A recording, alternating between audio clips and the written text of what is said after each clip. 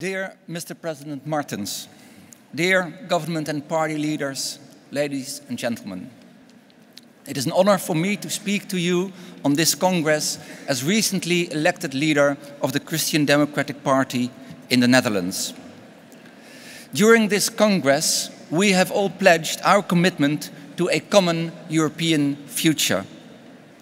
It is a, it is an, uh, a commitment we inherit to the vision of our European founding fathers decades ago, thanks to whom we have lived in peace for decades.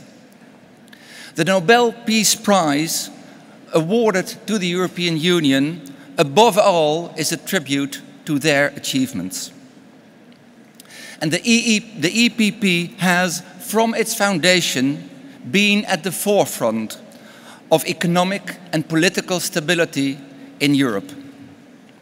It is my commitment as leader of the Christian Democrats in the Netherlands to contribute to this European path. But today, we find ourselves in the storm of a financial and economic crisis.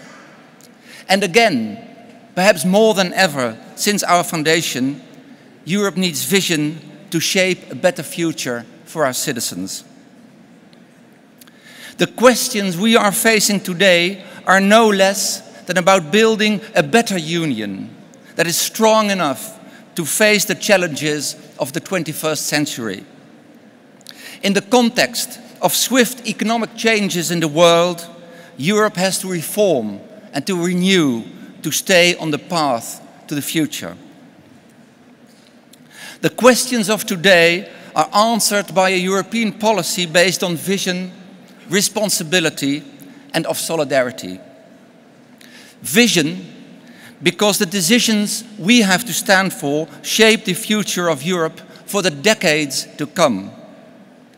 Of responsibility because we have to get rid of short-term politics of spending and go towards politics of sustainable finances and endurable reforms.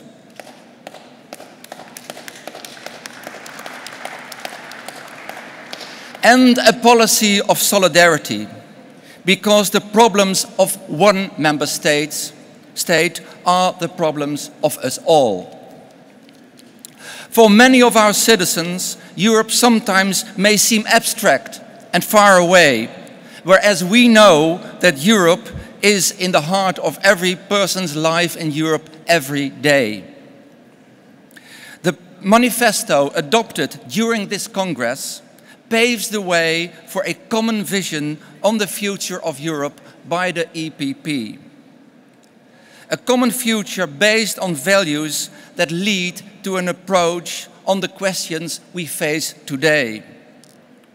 Our European values of a Europe that takes initiative so that we can compete on the world level, but on the other hand, respects the freedom of citizens and the responsibilities of the communities that shape Europe.